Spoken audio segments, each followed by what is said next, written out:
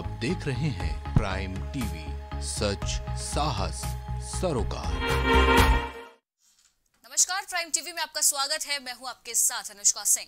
सहारनपुर के कांग्रेस के कद्दावर नेता इमरान मसूद अख्तर आज अखिलेश यादव से मिलने लखनऊ पहुँचे। उन्होंने दावा किया कि पश्चिम में इस बार समाजवादी पार्टी का परचम लहराएगा। और साथ ही अपनी सीट को लेकर कहा कि अब अखिलेश यादव पर है कि वो कहाँ से टिकट देती है, जबकि वो किसी शर्त के साथ पार्टी में शामिल नहीं हुए हैं।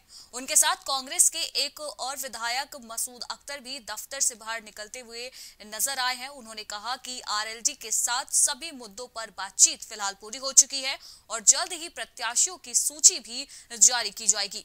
इन्हीं चुनावी मामलों को लेकर इमरान मसूद ने प्राइम टीवी से बातचीत में क्या कुछ कहा है? आइए आपको सुनाते हैं।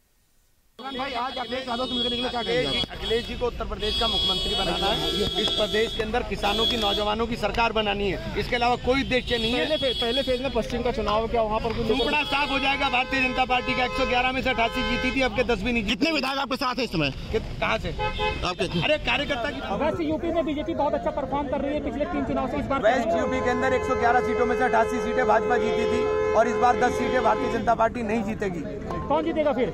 समाजवादी पार्टी राष्ट्रीय लोकदल गठबंधन भाई आज अखिलेश यादव से मिलकर निकले क्या अखिलेश जी को उत्तर प्रदेश का मुख्यमंत्री बनाना है। इस प्रदेश के अंदर किसानों की नौजवानों की सरकार बना और इसी के साथ फ़िलहाल खबरों में इतना ही। देश दुनिया की बाकी की तमाम खबरों के लिए आप बने रहिए प्राइम टीवी के साथ। नमस्कार।